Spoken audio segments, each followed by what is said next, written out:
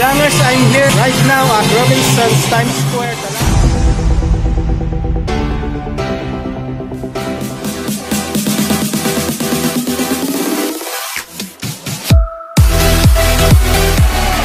Good afternoon, Lance Strider. Uh, I'm uh, Ayan. I'm here with Sir RJ, ang event organizer sa... Sir Glenn Naniesa. Nasa Sir Glenn. Mga kablangers, looking for a motorcycle, my friend here, T-Boy Peñas has a message. What we do here is go back, back, back, back, back, back, back.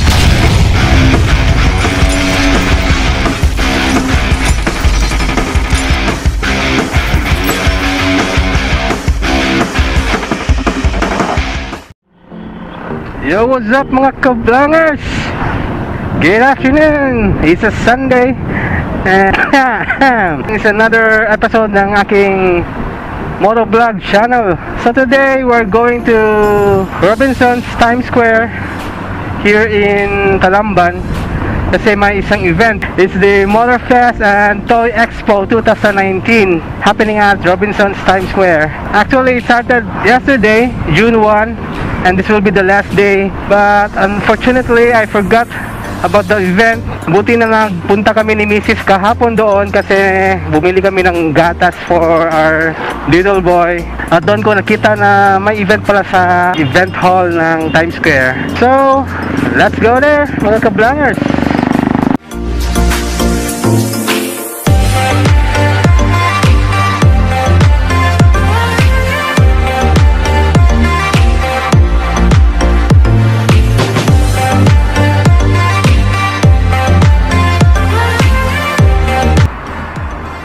So, dito na tayo sa Robinson's Times Square, Talamban. Park muna tayo sa basement parking.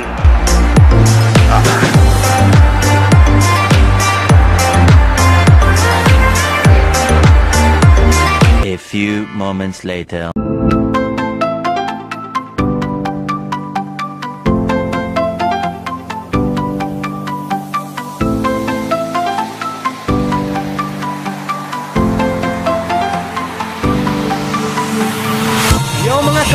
Kablangers, I'm here right now at Robinson's Times Square, Talamban. There's an event happening right now, mga kablangers. It's the Motor Fest and Toy Expo 2019. So, nasa baba yung event. Yan po. Mga bikes. May mga toys, enthusiasts na nag-display ng mga items nila. So, right now we go down and check the bikes and all the toys down there. Let's go!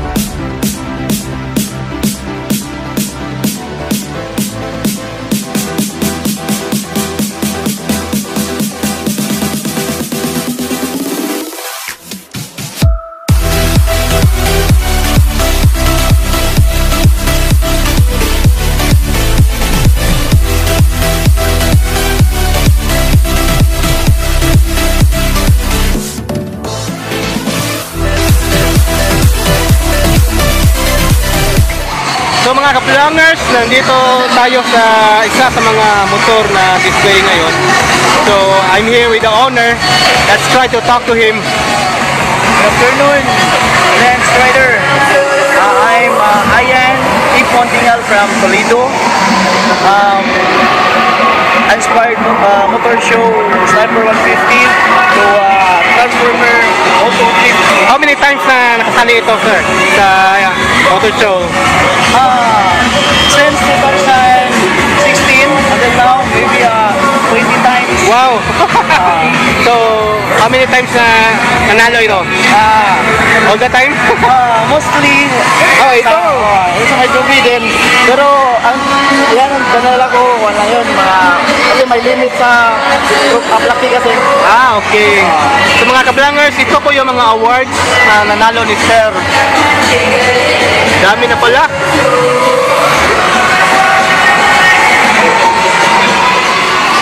From Toledo, dinala mo ito yung motor mo. Ah, shipment. ah, Shipment lang. ah, dito kami, ah, mula 80 pa.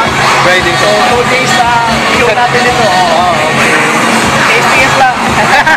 Init. Init. Ano yung motor, hindi na mo ginagamit. Yung, Pang biyahe, wala lang. For ah, show lang. Good for show lang. Then sometimes, pag may mga event na like parade, like sa Toledo parade, kailangan siya. So, pwede natin makapag doon. Okay. Yes, sir. Sa TCH State. Wow, okay.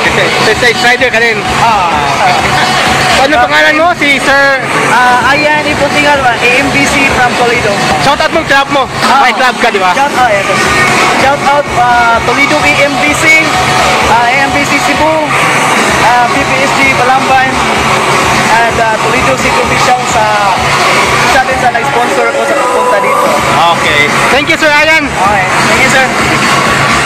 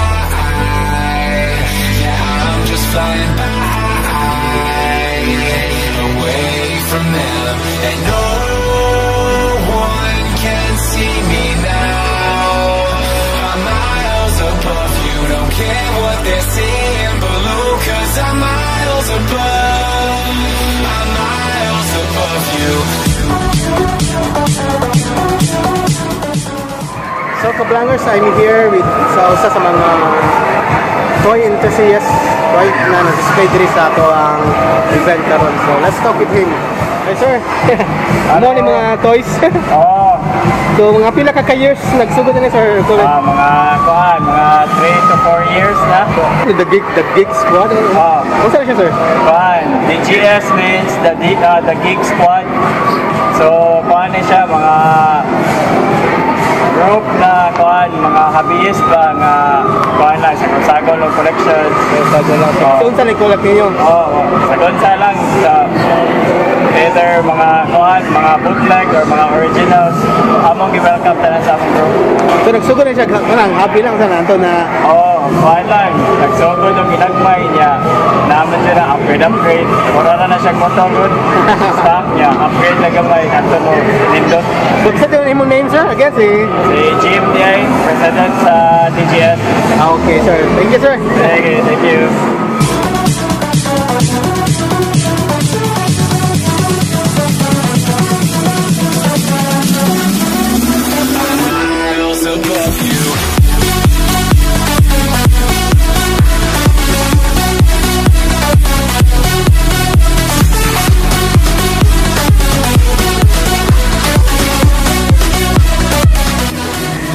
Kablangers, I'm here with Sir RJ, ang event organizer sa Motorfest and Toy Expo 2019 na nandito sa Times Square, Talamban. Sir, tell us more about the event. Um, the event is more about um, putting two hobbies into one. So, uh, normally makita mo na to kay common kayo diri sa Cebu nga motor show, motor show ra, motor show na ilumba, na car show pero everything is in the field of machines, uh, nagigrasa involved, oil. So, those are machines are are source of transportation. So the reason why I put this up, kay this is not only about um, motor shows, but also for Toy Expo as well. Uh, for Toy Expo, sorry. so let's just say nga, mo siya gisagol na to siya nga duwaan at the same time motor sad siya na event. So kani mga toys sa appeal sir na puli awarding or mga Uh, no, those are exhibits. exhibits lang. So, So kanila mo mo siyang reason na ano mo siyang expo. oh, so kamo kanila mga motor show mo na award. Ah. So, So, mo siyang mo. So as you can see nga Mura kasagaran sa makikita nyo champion ba, then these are the choice awards here. So ang reason nga mo kami kamong gibuhat kay um, just a new twist na only the best of the best will get the best side. ah okay. But there are also prizes though for the second and third um, champ uh, placers sa kuan sa mga nakadaog but those are like dili na sila blaki nga same nga glass. So here's a sample though. Baga siya nga glass and then inside nga katong bolt siya mo siya bar something ang gigamit. So it's going to be something unique and you'll only get this contestant ka at the same time Ngayon sa kasamong Gundam Builders Competition, as you can see there. Ah, ano siya. Uh, let's go! So, mo siya ang ang mga... Unfortunately, we only have five entries kay um, tungkol sa preparation and once we're going to be building this these are not just toys kay ano it would take like months for you to build to paint ano sa check motor that's the reason why there's the Gundam Builders competition and at the same time expo so I'm I, um, the goal here is I'm putting two or three hobbies into one event Ah, okay. So usually sir, yung ano yung mga buhaton, mga pila gigastuhan eh. It depends. Mga typically ang kit lang daan would cost around 2 to 4,000. Mm, okay. Plus mapay labot sa mga diorama o sige pang sa pagpintal nimo ang balik pa kag airbrush Oo. around 2,500 to 4,000. Mapay labot sa pintal, primer, top coat. So mo lang yapon gagapintal motor sa. so you're putting it into a model kit. So usually nag-start ni ikaw po niya ni pagka. Yeah, um, founder founder and president ko sa Cebu Gundam Society. Oh, okay. So shout out sa imong club sir. Okay na na sila. Okay na sila. Anyway, shout out to CGS or Cebu Gundam Society. And also, I would like to shout out to Kid Rock, um, the owner of Tats Hobby, and also uh, one of the founding members of GCC or Gunpla Cebu Community. Okay. Sir, thank you so much sir for the event sir. You're welcome. Three hours later.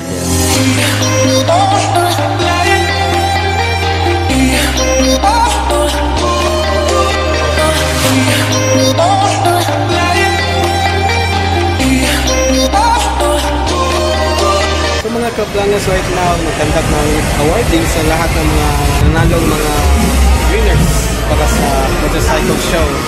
So let's hear what it says. Server Vanessa. Nasa server. nesse si Bu Diasanta. bom Bu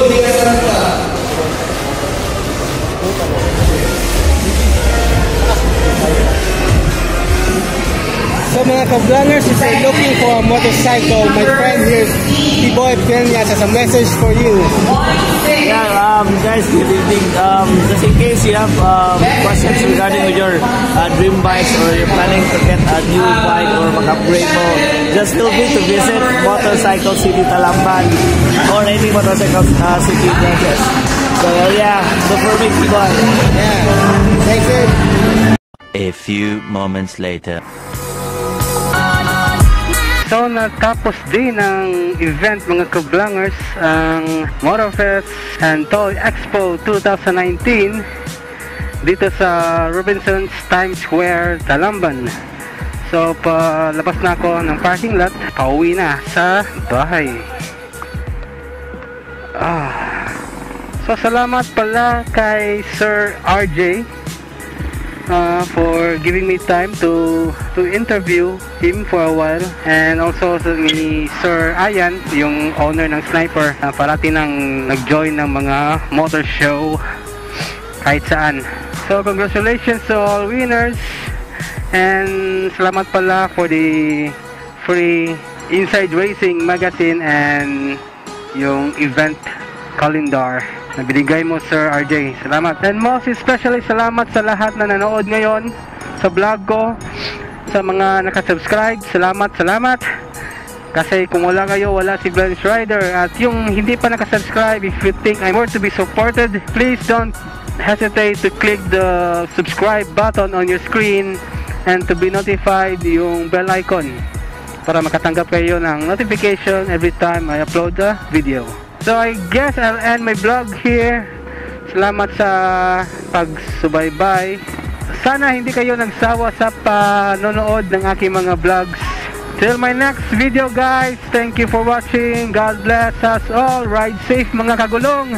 Ciao!